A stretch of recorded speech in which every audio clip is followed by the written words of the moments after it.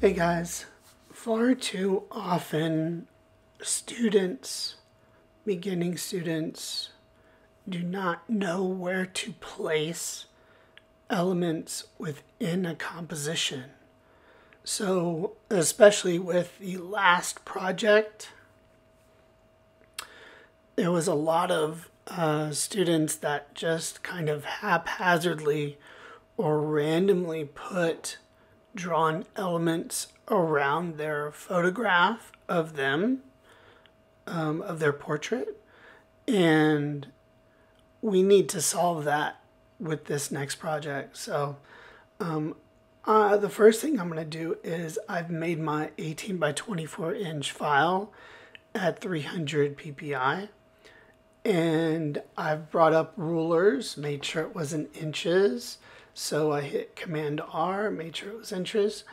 And the first thing that I like to do is put up one inch margins around all of the sides. So if I just pull out those guides from the ruler, just click and drag from the ruler, um, and then hold shift down.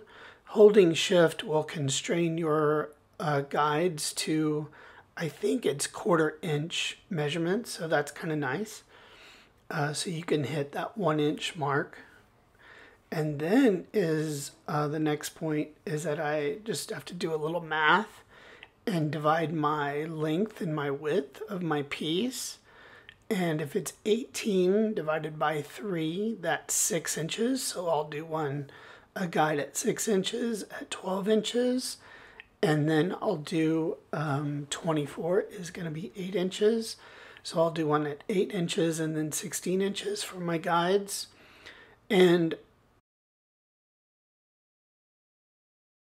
in those intersections, those are points um, that you can exploit and use as points of interest and dividing up your composition by thirds automatically gives you a pleasing ratio to kind of use to your advantage.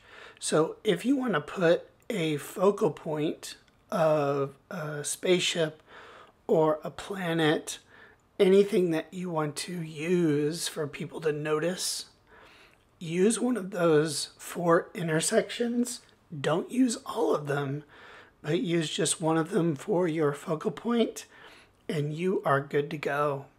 Um, a lot of times, uh, beginning students, like I said, just don't know where to place things, and this is kind of an easy way to get into the habit of doing and placing uh, imagery, especially focal points, um, in any one of these four intersections. Okay, guys, have fun. We'll see you next time.